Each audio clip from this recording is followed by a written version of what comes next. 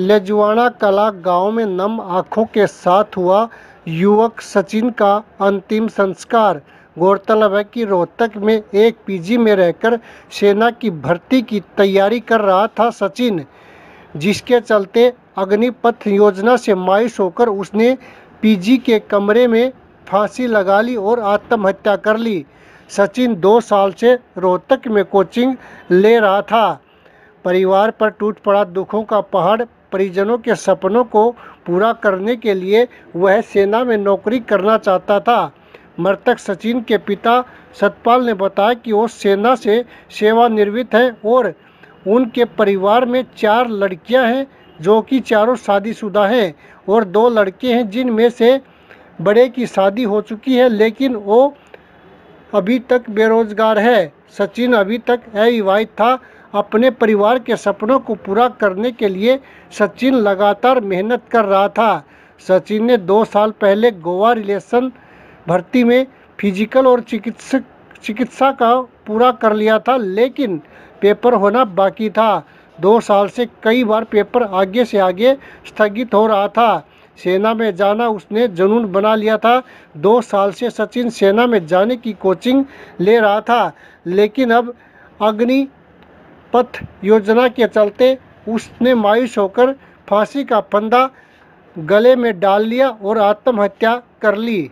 मृतक के पिता सतपाल ने युवाओं को संदेश देते हुए कहा कि किसी भी प्रकार के फैसले से अगर युवा घबरा जाते हैं तो वो सेना में जाने के काबिल नहीं हैं।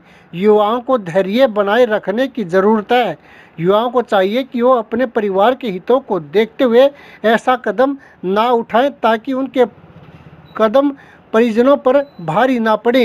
भर्ती की दो साल हो लिए तो उसका फ़िज़िकल मेडिकल हो रखा था। अच्छा अच्छा। रिलेशन के?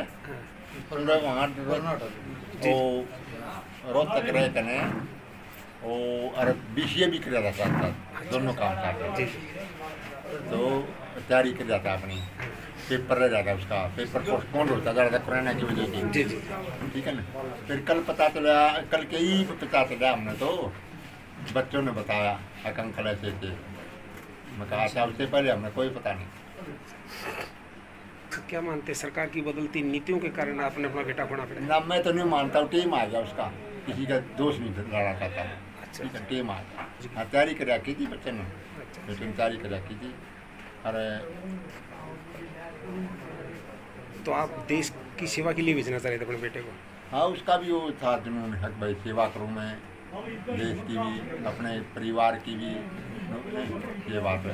अंकल जी जिस तरीके से आप खुद एक फौजी रहे थे हाँ। तो इस तरीके का जो कदम है यानी एक हिम्मत उन बच्चों के लिए क्या मैसेज बच्चे बेटा मैसेज यही है कि ऐसा कदम न उठाए बातचीत करें अपने माँ बाप से अपने परिवार से अपने सगे संबंधियों से ये ऐसा कदम ठीक नहीं है। बेटा भाई दोस्तों जिनने वीडियो नहीं देखी हो वीडियो देख लो नीचे फ़ोटो होगी उसे क्लिक कर दो।